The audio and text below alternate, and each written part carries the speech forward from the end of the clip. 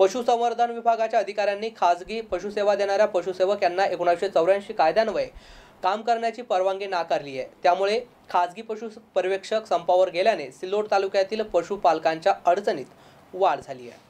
मागील काही दिवसांपासून पशुसंवर्धन विभागाच्या अधिकाऱ्यांनी खाजगी पशुसेवा देणारे पशुसेवक यांना एकोणावीसशे चौऱ्याऐंशी कायद्यान्वये काम करण्याची परवानगी नाकारली आहे. मग पशुसंवर्धन श्रेणी दोनचे दवाखान्यात तर पशु पर्यवेक्षक यांना जनावरांवर उपचार करण्याची परवानगी कशी? असा प्रश्न उपस्थित झाला असून याचा फटका मात्र सामान्य पशुपालकांना दररोज बसत असल्याचे गंभीर प्रकार समोर आले आहेत. तसेच खाजगी पर्यवेक्षक संपावर गेल्याने पशुपालकांच्या अडचणी वाढल्या आहेत.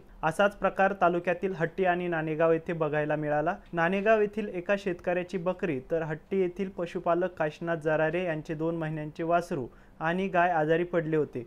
त्यांच्यावर उपचार करण्यासाठी जरारे यांनी अनेक खाजगी पशु पर्यवेक्षकांना उपचार करण्यासाठी येण्याची विनंती केली. मात्र आमचा अत्यंत कडक संप चालू असल्याने आम्ही उपचार करण्यासाठी येऊ शकत नाही असे उत्तर त्यांनी दिल्यामुळे या सामान्य पशुपालकाच्या वासराचा उपचाराअभावी सोमवारी दुपारी मृत्यू झाला असल्याने या पशुपालकाने सिल्लोड पंचायत समितीच्या पशुसंवर्धन कार्यालयासमोर मृत पावलेले वासरू नेऊन संताप व्यक्त केलाय. सुभाष जरारी गावातील वासरी काल संध्याकाळपासून बेमार पडलेली होती. डॉक्टरांना फोन केला ती आली आणि त्याला फोन केला. ती म्हणते संप चालू येत नाही आम्ही.